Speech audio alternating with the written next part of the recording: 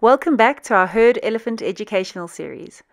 Episode 3 is all to do with baby elephants, which we refer to as elephant calves, and we are going to share not one, but two different elephant behaviors with you during this episode. We decided to do two together in one, as they are so easy to identify, and both behaviors have for the most part only one context to interpret. Another reason for featuring them together is that they are normally observed taking place at the same time.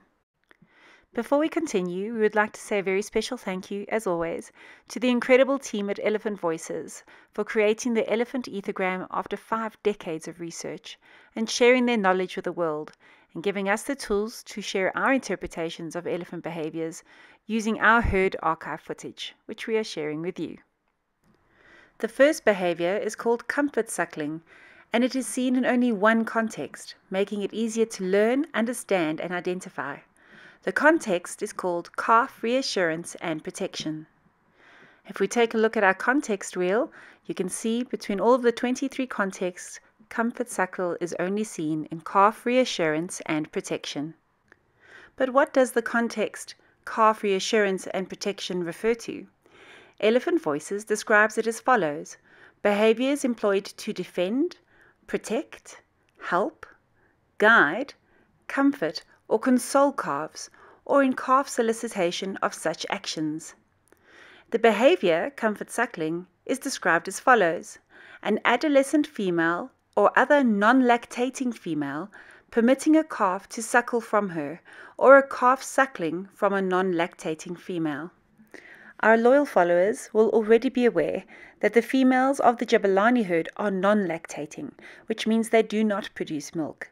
This is due to the elephants being on contraception. Therefore, with the rescued calves being accepted into the herd, the suckling that you will observe taking place by rescued calves Phabeni or Khanyisa is accurately referred to as comfort suckling rather than just suckling, as the calves are not actually drinking milk, but the action of drinking is very comforting and consoling for them. The second behavior we are learning about today is called the suckle stance, which can be observed in only two contexts. But for this video, we will focus on just one, which is calf nourishment and weaning. Let's take a look at the behavior in our context wheel. The first of the two contexts you can observe suckle stance in is during birth. And then the second and final context is calf nourishment and weaning. But what does the context calf nourishment and weaning refer to? Elephant Voices describes it as follows behaviors engaged in by mother and calf to meet the nutritional requirements of the calf and during the process of weaning. The behavior suckle stance is described as follows an adult or juvenile female standing with a forefoot placed in a forward position, thus allowing an infant or calf access to her breast. So let's delve into a few video clips of Phabeni and Khanyisa that showcase some of the exceptional cows of the Jabulani herd, who continue to accept rescued calves into their unique social structure. Each calf seems to have had one key female adopt them as their own child, and many of the remaining females play essential roles as allo mothers. Allo mothering is when the care of the calf is shared with other females of the herd other than its mother. There is another behavior called allosuckling, which would be applicable if the calf was suckling from another lactating female other than its mother. The adoptive mothers and allomothers of the Jabulani herd have provided the calves with essential love, comfort, and kindness by allowing them to comfort suckle from them. The movement suckle stance is seen when the adult female moves one of her forefeet forward that is closest to the calf, creating a space for easier access for the calf to reach their breasts and nipples with their mouth and to be able to suckle, or in this case, comfort suckle, as their essential milk formula is provided by their human carers at specific times of the day.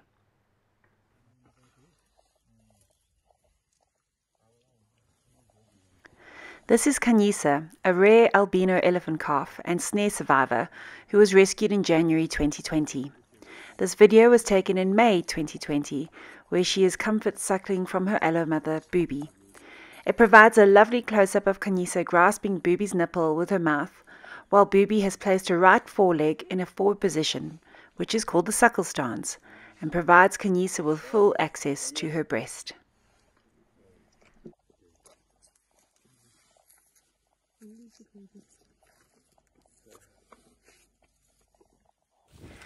This is Phabeni, who was rescued in November 2023. He had been found alone with no trace of his family and estimated to be four months old at the time. This was one of the first introductions he had to members of the Jabulani herd in January 2024. He is seen here comfort suckling from Lundi, who has become a special allo mother to him ever since.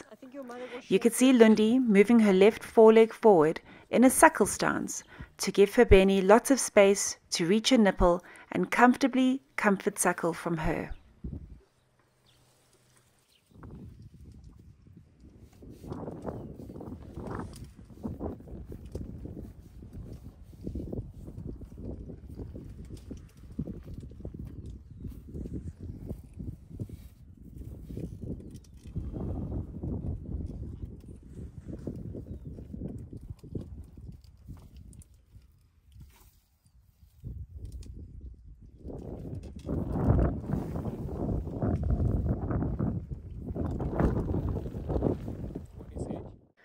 Phabeni is seen here on a chilly morning with his sweet zebra blanket, which has become quite famous, having been a firm favourite of Khanyisa's too.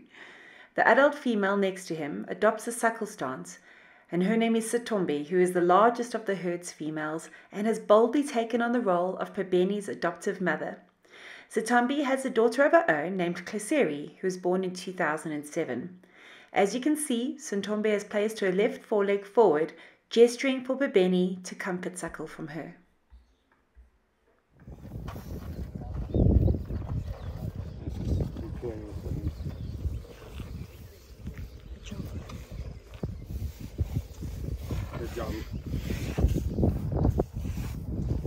Now she lifts, she lifts her leg, look, look. And she went down Yeah, that, to, for him to reach. yes.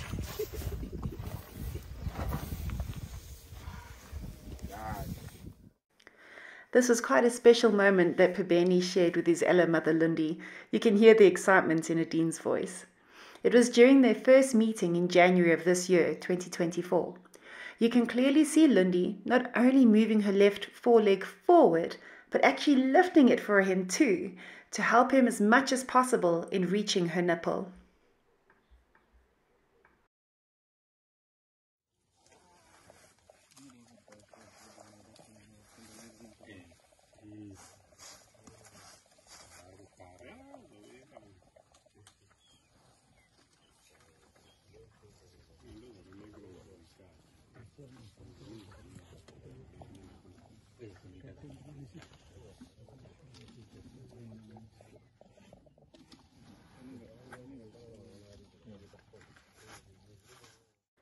Let's rewind now to 2020 again, where we can see a young Khanyisa comfort suckling from Bubi. Bubi's right foreleg is moved forward ahead of her left foreleg, giving ample access for Khanyisa to comfort suckle from Bubi.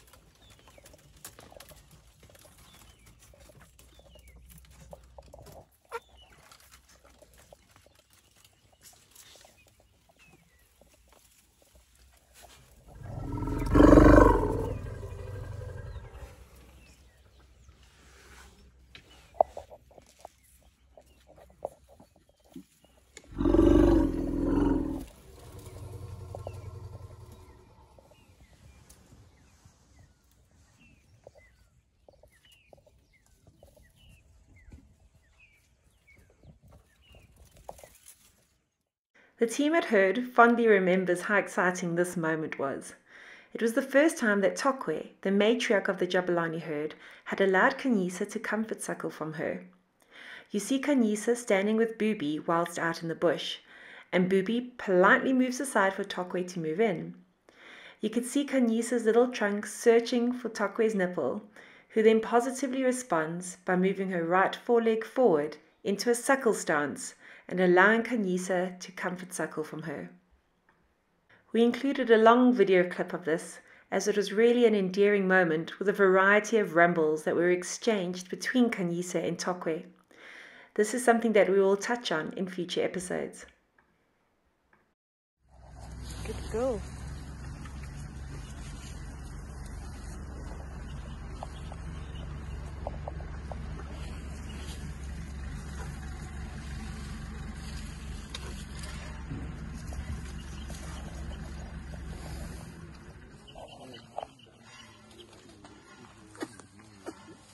Ruby. Good girl. This is another lovely example featuring Bubi and Khanyisa, with the ever curious Klaserie besides them, who's often touching Khanyisa with a trunk as a form of comfort. You can see how Bubi has moved her left foreleg forward to provide full access for Khanyisa to reach her nipple, enabling her to easily comfort suckle from Bubi.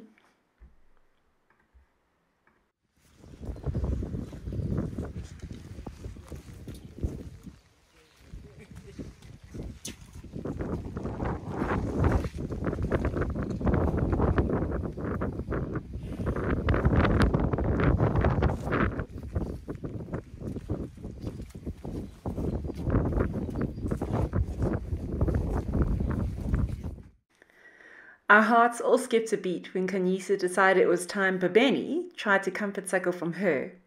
He had just finished comfort suckling from Sitombe, and Khanyisa ensured that she was in the right place at the right time and adopting the right suckle stance to encourage him to take her nipple. Knowing her journey of survival and seeing her do this for another special rescued calf made us all melt. She's going to be, no doubt, a very caring big sister to Phabeni.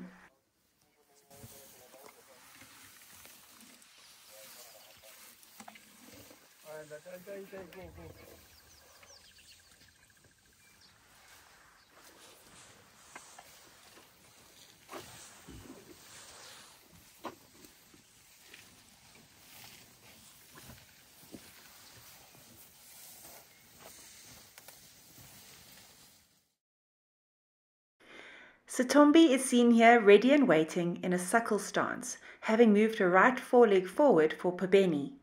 He calmly and naturally advances to take her nipple in his mouth in the act of comfort suckling. Once he decided he had finished and had enough, he moved away and Sitombi followed his suit.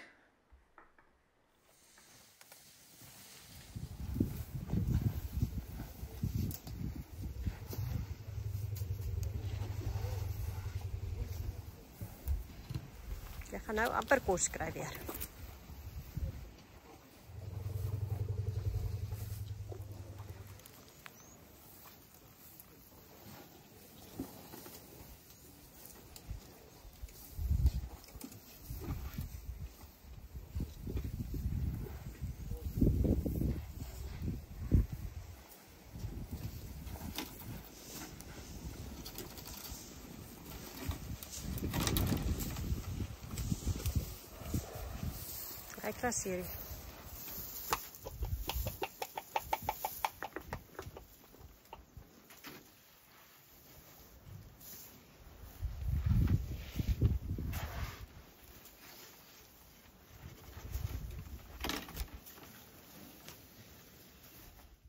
In our final example, we can see Phabeni comfort suckling from two females in one video clip. First, he is standing with his adoptive mother Satombe as he enjoys a brief comfort suckle from her. You can see her left foreleg positioned ahead of her right foreleg, enabling him access to her nipple. He then moves on and passes below Satombe's underbelly to join his allo mother Bubi, who accommodates the little calf by pausing, remaining still, and moving her left foreleg forward to encourage Phabeni to comfort suckle from her. You often see the females that are nursing calves swinging their trunks back and forth towards their nipple. This is a behavior that we will touch on in another future episode. So, from the comfort suckle behavior to the suckle stance behavior, this is a wrap for our third episode of our elephant behavior series. We hope that you found it interesting and are able to easily identify these behaviors going forward. Who knows what we'll touch on in episode 4, but be sure to tune in for more. Thanks for watching and don't forget that just by watching our videos and liking and sharing and subscribing that you're helping support Herd and all the work that we do. If you missed out on episode 1 or 2, click on these links prompting you now. Cheerio!